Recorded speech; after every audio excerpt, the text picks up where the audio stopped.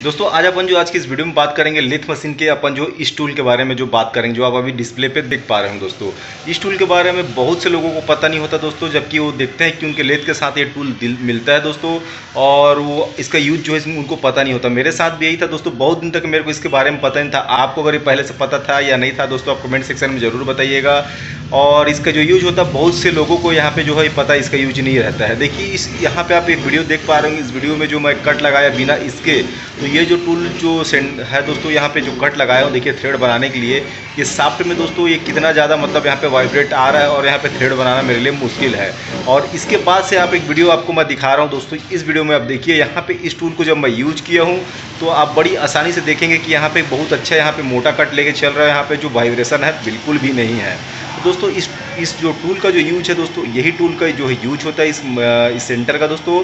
और लेथ पे अपन के काम करने पे, किसी भी साफ्ट लंबे लेंथ के साफ्ट पे जो होते हैं, उन पे काम करने में बहुत ज़्यादा आसानी बनाता है, चाहे वो टर्निंग के लिए हो या फिर वहाँ पे थ्रेड मारने के लिए दोस्तों। तो दोस्तों, क्या इससे पहले आपको इस टूल के बारे में पता था दोस्तों? अगर नहीं पता था तो इसको मेरे को कमेंट सेक्शन में ज़रूर बताइएगा। तो दोस्तों देखिए इस टूल के बारे में आपको दिखाना चाहूँगा दोस्तों इसको यूज़ जो अपन मशीन पे फिट किस तरीके से करते हैं तो चलिए मैं आपको बता देता हूँ तो देखिए दोस्तों यहाँ पे ये जो टूल है दोस्तों लेथ मशीन के साथ जो लेथ मशीन के साथ जो यहाँ पे मिलता है देखिए ये जो टूल है यहाँ पे एक यहाँ पे सॉफ्ट रहता है एक यहाँ पे सॉफ्ट रहता है और इसके बाद से यहाँ नीचे में देखिए तो आपको दो यहाँ पे आपको दो नट मिल रहे होंगे जो अपन यहाँ पे बेड से यहाँ पे कसते हैं तो चलिए मैं आपको बताता हूँ ये फिट जो किस तरीके से होता है देखिए दोस्तों मशीन में जो है ये यहाँ पे जो इस यहाँ पे जस्ट ये टूल के सामने जो होता है ये वाला टूल देखिए, जो ये वाला टूल होता है, जस्ट इसके सामने यहाँ स्लाइड में जो ये होल रहता है, यहाँ पे ये फिट होता है।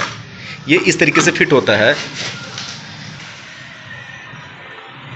ये देखिए दोस्तों, ये इस तरीके से यहाँ पे फिट हो जाता है और ये बड़ी आसानी से यहाँ पे फिट हो जाता है। इसके बाद से अपन क्या करते हैं, यहाँ पे इसको फिट कर देते हैं। ये देखिए दोस्तों, यहाँ पे फिट करने के बाद से ये दोनों बोल्ट को टाइट कर देंगे और यहाँ पे जो आपको ये दो दिख रहा होगा इस राड को सेंटर बनाने के बाद से क्या करना है, यहाँ पे इसको टच कर देना, ऊपर टच कर देना। इसके बाद से जब हम आप यहाँ पे थ्रेड बनाएँगे या फिर कुछ भी यहाँ पे कटिंग काम करते हैं, ये देखिए इस तरीके से तो ये टूल इस तरफ़ को, इस रॉड को इस तरफ़ पीछे ढकेलता है, जब यहाँ पे कटिंग लग करते हैं तो ये यहाँ से रोक लेता है और जब ये ऊपर की तरफ़ उछलता है तो ये क्या करता है, ये वाले भाग जो, ये वाला पिन जो है, इसको रोक लेता है। इसकी वजह से यहाँ पे जर्क देखने को नहीं मिलता है और वाइब्रेशन नहीं मिलता है।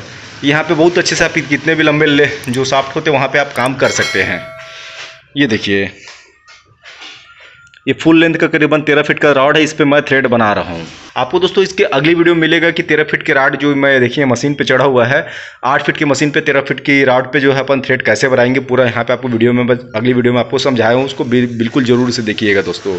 बस दोस्तों, इस टूल पोस्ट का यही काम होता है और ये बहुत ही ज़बरदस्त जानकारी है। अगर आपको पता था या नहीं था, आप जो भी है, मेरे को कमेंट बॉक्स में ज़रूर बताइए। दोस्तों, अगर आपको वीडियो अच्छा लगे तो इस वीडियो को दोस्तों यहाँ पे लाइक कीजिएगा।